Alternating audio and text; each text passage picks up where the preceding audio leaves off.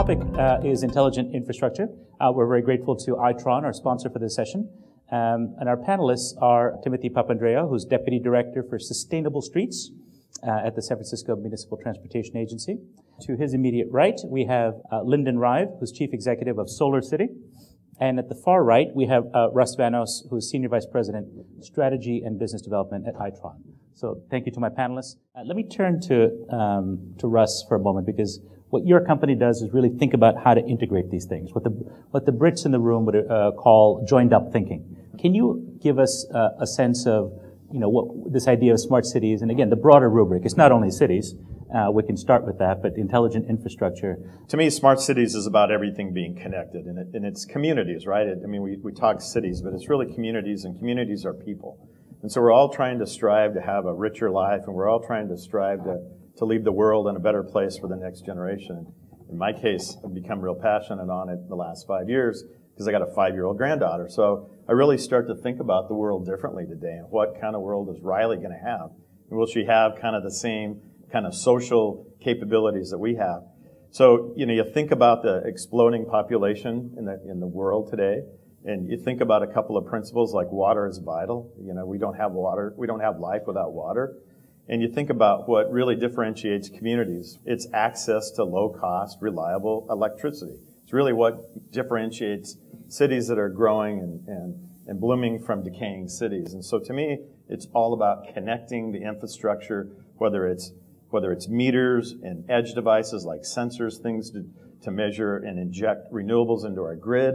It's things like being able to make sure that all of the water we manufacture, if you think about it, you know, water, water we manufacture, we all think that it's free and that it's a God-given right, but we have to pay a lot of money to, to manufacture water and to deliver that water. Well, in the United States, which is the most efficient economy in the world around delivering water, 35% of the water that we manufacture never gets delivered to anybody or to any of us. So think about the loss, the inefficiency in that. Think about the cost in that, the cost to all of us. So the more we can interconnect, I think we would, in fact, leave the world, you know, better for my granddaughter at least. So. One comment I make about the, the water is, uh, not, most people don't know this, but the average household uses more water in the creation of their electricity than water consumption itself. Yeah. It's just like mind blowing. You think about that. Talking about now uh, grid connected micropower with multi-directional flows and with smart management, sensors, real-time meters that can manage this power as appropriate. This is the vision for the much smarter grid, uh, as I uh, understand. Exactly, and just to get to a point where you're going to have storage devices become more cost effective.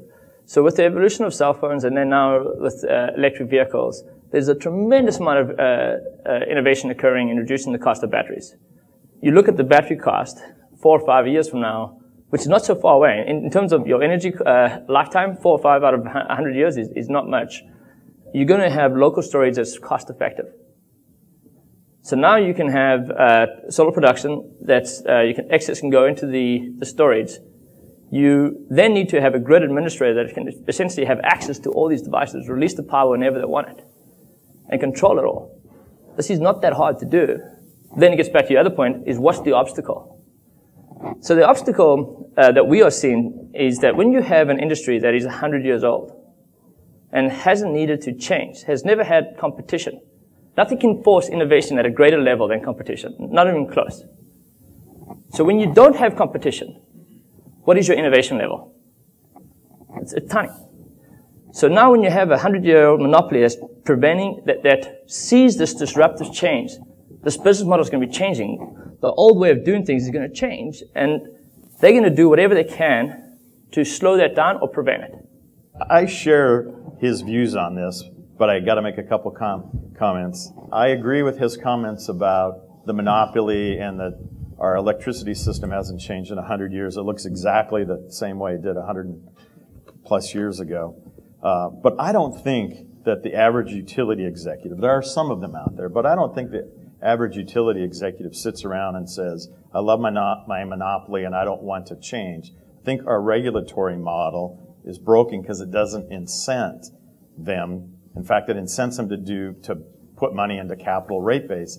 It doesn't incent them to change.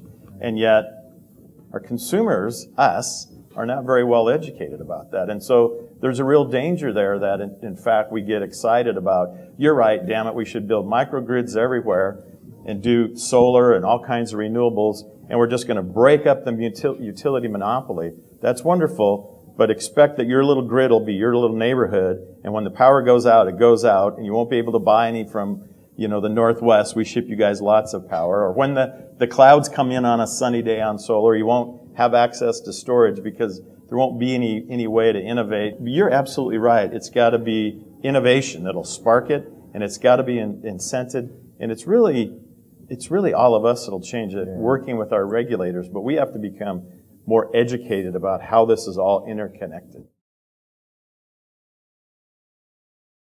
Everybody talks about big data. So I think that the real trick for government is we're going to have especially if we interconnect everything, we're going to have so much access to data. It's not going to be about data. It's going to be about information. Pretty soon it's not going to be about information. It's going to be about knowledge and action. And so we need to enable this developer app world to get access to that data and actually take action so we can take some of the pressure off of government and let them do the real value add stuff. we're involved in a very large uh, scale water project in Mumbai.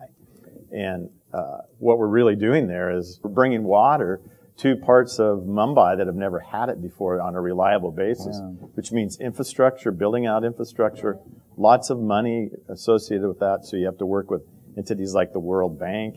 It, around social media, I mean, all those people even though they didn't have water or they may not have electricity, they all have a cell phone. Mm-hmm. They're actually implementing metering technology and communications technology and they're putting apps out there. Now, that sounds crazy because these are people who can't afford to have three meals a day.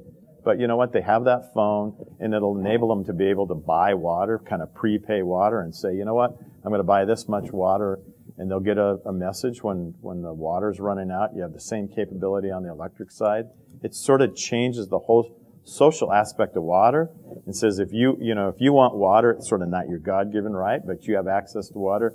It's your responsibility, back to your earlier point, to manage that, not mine as city government or local government. Uh, this was a great workshop. Uh, thank you all for participating so energetically. Give our panel a round of applause. Thank you. Thank you very much, gentlemen.